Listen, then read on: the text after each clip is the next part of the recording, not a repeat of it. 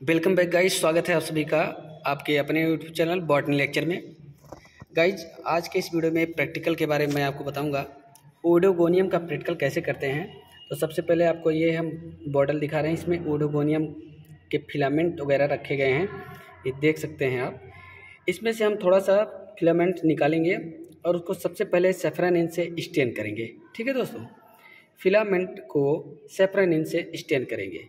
तो आप देख सकते हैं, हमने यहाँ पर पहले से ही निकाल के रखा है और रुई की तरह इसके कॉलोनी दिखाई देती हैं। आप ये देख सकते हैं, यहाँ पर हमने इसका फिलामेंट रख दिया है, पूरे कई इसमें ग्रुप्स में है और इसको सेपरानिन से हमको, हमने स्टेनिंग कर दिया है। अब इसका एक फिलामेंट हम क्या करेंगे, पतला सा हेयर लाइक है, उसे हम स्लाइड पर रखेंगे और सीधा माइक्रोस्कोप में लगा करके देखेंगे, ठीक?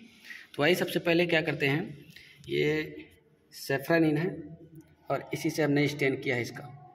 ठीक, आप देख सकते हैं। इसे आप मार्केट में मिल सकता है, आप ले सकते हैं। लैब मटेरियल है। और इसकी स्लाइड के लिए हम क्या करते हैं, अब स्लाइड, एक छोटी सी स्लाइड लेंगे। उस स्लाइड पर इसको हम रखेंगे और माइक्रोस्कोप में सेट करेंगे। ओके? सो गाइज़ ये रही स्लाइड। कांच की बनी है, बनी होती है। आपके पास भी होगी। लैब में आपके होगी। इस पर मैं एक पतला सा हेयर लाइक स्ट्रक्चर इसका रखूँगा और उसके बाद माइक्रोस्कोप में रख करके आपको मैं दिखाऊँगा कि कैसे वाल वाक्स दिखाई देता है। सॉरी मीन्स ओडोगोनियम दिखाई देता है, ठीक है? किस तरीके से ओडोगोनियम का फिलामेंट दिखाई देता है और ओगोनियम का स्ट्रक्चर इसमें होता है या नहीं होता, कैसे बनता है, वो पूरा मैं इसमें आपको विजुअल प्रैक्टिकली दिखा दे रहा हूँ, ठीक है? चलिए, अब इस पर हल्का सा क्या करेंगे, आप नीडल लेंगे।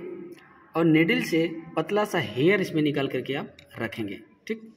चलिए। तो दोस्तों, देख सकते हैं आप, इस तरीके से स्लाइड हमने अपनी लगा दिया यहाँ पर। इसमें ऑब्जेक्ट रख दिया है ओडोगोनियम का। और अब मैं माइक्रोस्कोप में आपको दिखाऊँगा कि किस तरीके से ओडोगोनियम दिखाई देता है। चलिए, अब आपको मैं दिखा दे रहा हूँ। कैमरे के साथ मैं आपको इसमें कंप्लीट इसमें दिखा दे रहा हूँ।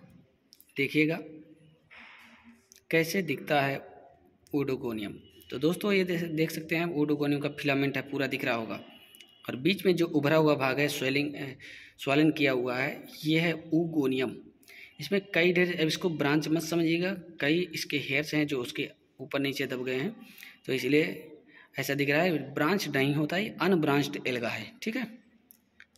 तो दोस्तों वीडियो अच्छा लगा होगा तो सब्सक्राइब कीजिएगा। और वीडियो को एक बार लाइक कीजिएगा, फटाफट सबके पास शेयर कर दीजिए, सबको प्रोसेसिंग पता चल जाए कि ओडोगोनियो का प्रैक्टिकल कैसे करते हैं।